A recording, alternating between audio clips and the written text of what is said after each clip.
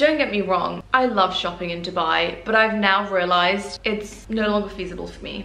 Unless it's something I genuinely really need and I can't get to Europe in time to collect it, I'm not gonna be doing it anymore because I've realized I've been scammed. Although UAE is a tax haven, I love it, it's amazing, we don't get taxed on a lot of things. I've been wasting a lot of money because the second you reach Europe with your UAE residency, which I am so grateful for, you realize the cost of something here at Chanel, it's a set price. But the cost of something in Europe, the exact same thing, is a lot less with tax. But when you're a UAE resident, you get that tax back at the airport. So ultimately, it's like you're getting something brand new on massive sale in comparison to the price of it in Dubai. I'm absolutely flabbergasted and shocked at the amount of money I've been wasting and spending on things when I should have just saved up all that money, bought myself a plane ticket and gone to Europe to shop. Not that it was feasible really because of you know who. Now it's, it's what I'm gonna be doing. I don't really intend on buying much from Dubai unless it's absolutely necessary and I can't get to Europe in time and pick something up. For example,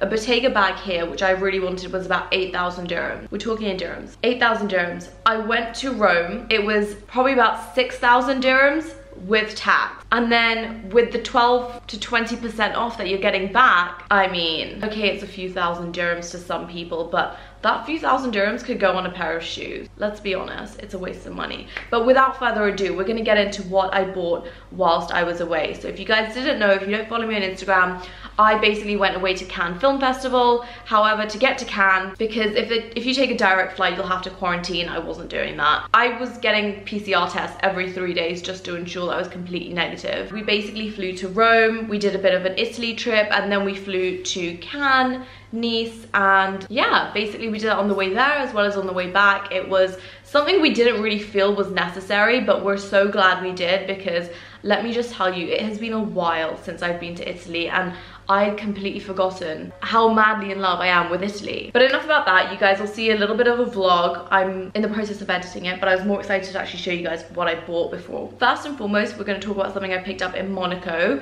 This is something I actually had my eye on. It's not the exact item I wanted. It is from Goyard, but it is very similar. This is my new mini Saigon Goyard, and it's in the soft design. So as you guys can see, it does, it's not structured, it's quite soft, it's quite floppy. These are considerably cheaper than the structured version. I did want the structured version, but as I'm sure you guys already know, it's almost impossible to get the structured version in this size in store literally anywhere. They did have other colors, however, I felt the classic color was just something I could wear very often. It's a beautiful little bag. I did get her. I want to say on sale because it literally felt like everything I was buying was on sale, but we got tax back off this and it was fantastic. They also had doggy bags. You guys know how they've got this classic St. Louis bag. It's like the bougie alternative to the Neverfull. They had that, but the doggy bag version, so it's kind of like cut out so your dog can like stick his head through. I did ask about that, but he said my dog was a little bit too large for it, although I do think they come in like two sizes, if not three. But this is what she looks like.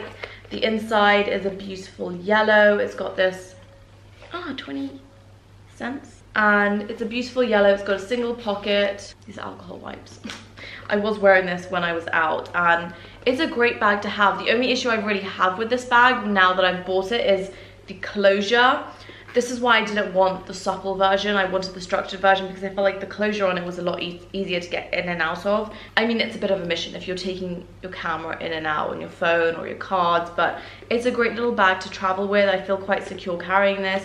You can carry it in your hand in the crook of your arm, on your shoulder, or even as a crossbody. The strap is adjustable, which is amazing. And as I said, these come in a variety of different colors.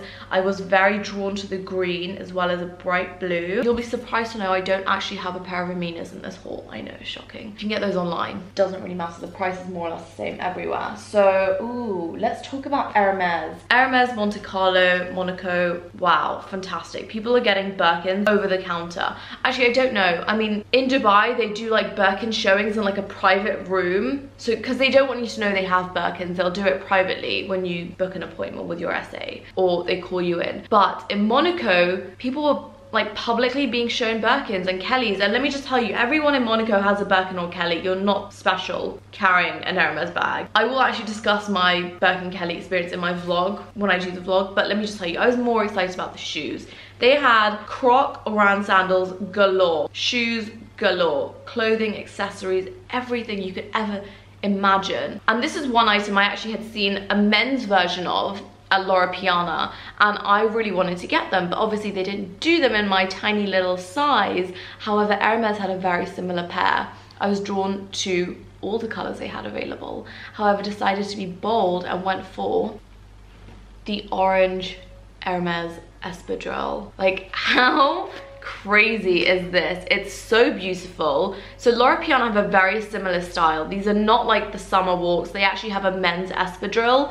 And I think it's just a beautiful shoe, especially to wear on the beach, like in summer, to a beach club. They showed me this in black, orange, and yellow. Unfortunately, the yellow, which I really wanted, wasn't available in my size. The black, it's a great color. Like, I mean, I love black, but I wanted to be a bit more bold. Summer is here. I'm feeling colourful-ish. You'll see throughout the haul. I went for the orange because I think they just look fantastic. They are quite comfortable. I haven't actually worn these out yet, but I picked up my size, which is 36. These are in a beautiful orange suede. If you guys will following me on Instagram, you would have seen my first stop in Rome, Italy, was of course none other than Loro Piana. And I did pick up quite a bit of stuff whilst I was in Italy at Loro Piana because it's my favorite brand. Their shoes are just unbelievably comfortable. In fact, we all ended up picking up a pair of Loro Pianas in different styles. The Summer Charms is my favorite. I went for this really nice burgundy kind of color. It's almost like a wine red. I love this red. I have worn them, which is why they look a bit floppy. But again, I have to reiterate this in all my videos.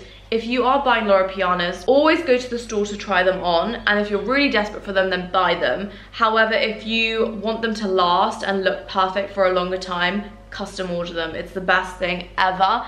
The quality and the craftsmanship of the custom orders is so different to the ones you get in store because I feel like they really hold their structure a lot better. The ones you buy in store, they tend to go floppy very quickly. So I always recommend trying them on and then purchasing them online. This is my go-to shoe and I love being comfortable. I think it's the most important thing, especially when you're walking around all day. Next, again, at Hermes, I completely forgot to mention, I picked up another pair of shoes and this is a pair of shoes I had my eye on. They weren't available in Dubai, of course. Honestly, the stock here is just horrific. I could get these online, but I've never really shopped Hermes online. I've always wanted to try the things on before I buy them. And of course, if you follow me on Instagram, you would have seen I picked up these Hermes sneakers. I completely forgot what the name is. It's it's gone from my mind. They are so cute. Initially, I was a bit skeptical when I saw them. I don't know if you guys can see, they have like the classic Hermes lock on them, which does actually open up. And it is like stretchy. I definitely recommend trying these on before you buy them. I did ask for a 36, however, these are 35. They're a full size down and they fit so well. So I did ask if they had these in a different color. Rose gold isn't really my first choice. Yellow gold is, but they only had rose gold. And honestly, once I tried these on, I wasn't taking them off because they are very comfortable. They actually remind me of a mixture between the Louis Vuitton front row sneaker and the Alexander McQueen sneaker, which I don't love, but they are a very comfortable pair of sneakers and I was wearing these throughout the day. On my first day actually I had no blisters which is shocking for a pair of sneakers and I love that they've got a pop of orange underneath saying Hermes. Another pair of Loro Pianas. These are not summer charm walks, summer walks. They are in fact the cashmere sneaker. These are another great pair of sneakers, whether you're looking for like an everyday kind of athletic kind of sneaker or even a gym sneaker. I don't know whether I'll be wearing these to the gym. When you go for that athleisure look, the classic athleisure look, you know, a pair of leggings, a nice Loro Piana jacket, which we'll get into, and a pair of like streamlined sneakers. These, wow these are so comfortable. Initially when I saw these, I was like, they are so hideous. Once I bought into the brand with the shoes, I was sold. I tried on every other style. They're almost too comfortable to say no to, regardless of how unnecessarily sporty they look. I kind of really love them. I love that they're understated. There's no like major branding on them. I love this olive green color as well. It's a neutral color. You guys know I love my neutrals. I definitely think I'll be buying more of these. You can also actually customize these online. I went to an outlet mall in Florence. Wow, this outlet mall was insane. I'll get into it in my vlog. I couldn't go to a Florence outlet mall and not pick up a pair of Aquazzuras. I'd been eyeing these for a while. Uh, these weren't actually like majorly on sale. These are about 600 pounds still, but they were worth every penny because let's please appreciate these beauties. They are stunning pair of Aquazzuras with the classic pineapple underneath you guys can see. They're in a leopard print. The toe almost looks like it's satin, but it's suede, all over suede with these crystals which wrap around your leg. It's got the double crystals. I do believe these are actually on sale online. I don't know about this particular pair, but you can get these in black as well as like a pinky nude. I love these. I picked these up in size 36, which is my true size. I'm excited to wear these. I'm trying to slowly inject more print and color into my wardrobe. I'm not sure if you guys have noticed, but I definitely recommend these. These are a great pair of comfortable shoes. And honestly, Aquazzura shoes to me are very comfortable. The heel height is almost perfect.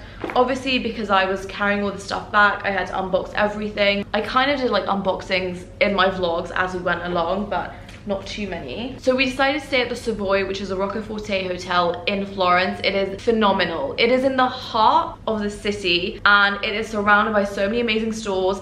It's right next to Miu Miu and it's directly opposite a Luisa Via Roma store. I was blown away. This store is such a great shopping experience. The sales associates are so lovely and they actually have massive screens where you can actually scroll and browse the website. However, I walked in, my eyes directly focused on this pair of boots from Burberry, which I had seen online. I actually messaged my SA at Burberry in Dubai if they were gonna receive them.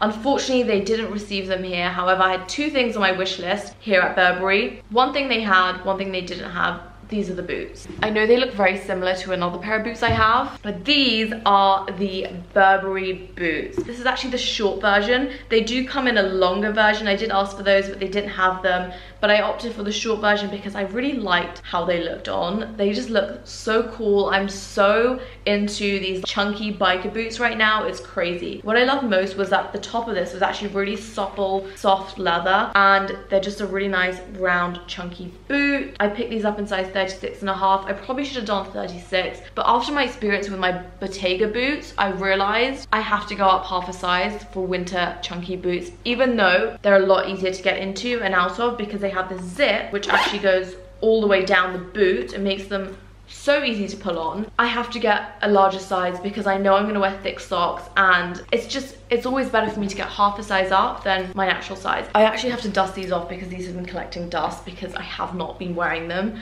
I picked these up in a 36 and as much as I love them, this little entrance way for your foot is far too narrow for my thick ankle and my wide foot. It's honestly a nightmare and it hurts my heart having to say that because I do really love them. I haven't considered selling them yet, although I probably should because I've, I've not worn them out. I'll put them on for a few seconds and I'll be like, I'm gonna break into them. Seconds later, my feet are screaming in pain and want to be released from the shackles of this boot. So I've not been able to wear them out. They're also very heavy. They're almost exactly the same. In fact, I think the Burberry boots are cheaper than these boots. If you're gonna buy a pair of like chunky boots like this, I would definitely opt for the Burberry. Oh my God makes sense or a 35 and a half i don't know why i don't return things and get my actual size on time like i think i would save so much money doing that but i just don't know how to return things yeah it's really that sad Okay, so I'm actually gonna end this video here. I know I only showed you a little bit.